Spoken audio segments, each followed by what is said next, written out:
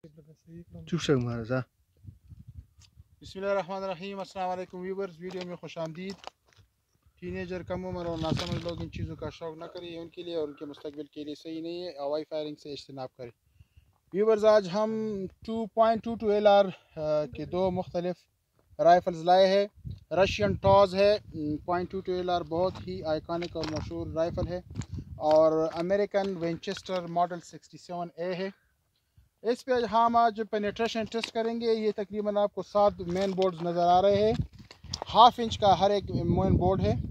और इसमें हम दोनों राइफल्स की पेनेट्रेशन पावर देखते हैं कि आया कौन सा जो है वो ज़्यादा तेज़ है और कौन से राइफ़ल की जो है वो पेनेट्रेशन ज़्यादा है। यानी इसकी गोली जो है कितने कितने मेन बोर्ड से पार होती है।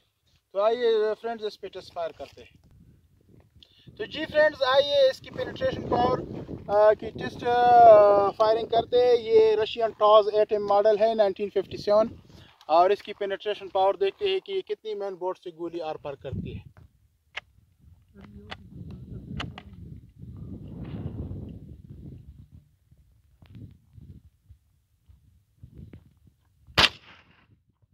तो जी फ्रेंड हमने टारगेट को हिट किया। अब इसकी पेनिट्रेशन देखते हैं कि कितने मेन बोर्ड से गोली आर पार हुई है।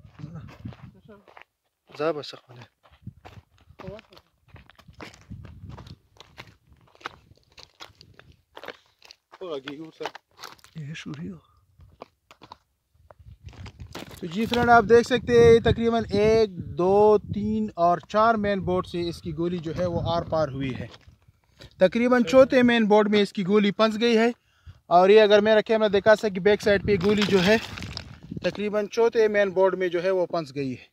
ये Russian Toz eight M M two two L R का पेनेट्रेशन था। तो आइए फ्रेंड्स अब अमेरिकन वेंचेस्टर मॉडल 67 ए की पेनेट्रेशन पावर आपको दिखाते हैं कि ये कितने मेन बोर्ड से गोली आर पार करती है।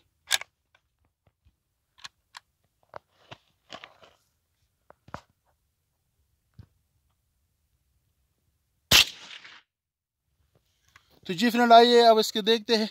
इसकी लेफ़्ट साइड पे हमने गोली लगाई है। रशियन टॉस की राइट साइड पे थी और इसकी पेनेट्रेशन पावर देखते हैं कि कितने मेन बोर्ड से आर पार हुई है।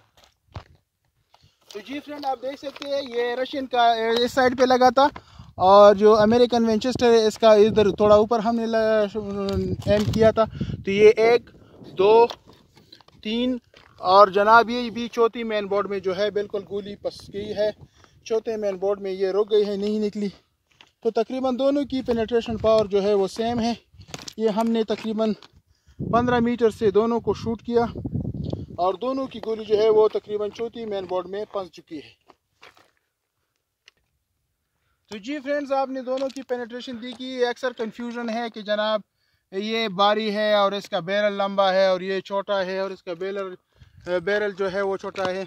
दोनों की बैरल कंडीशन भी तकरीबन सेम है और इसकी पेनेट्रेशन पावर तकरीबन सेम ही है, बल्कि इसमें कोई शक नहीं कि दोनों राइफल्स की जो बुलेट थी, वो चौथी मेन बोर्ड में जो है, वो पंच चुकी है और ये तीनों मेन बोर्ड से आर पार हो चुकी है दोनों की और तकरीबन चौथे में दोनों राइफल्स की जो है, वो बुलेट जो है, वो फंस चुकी है।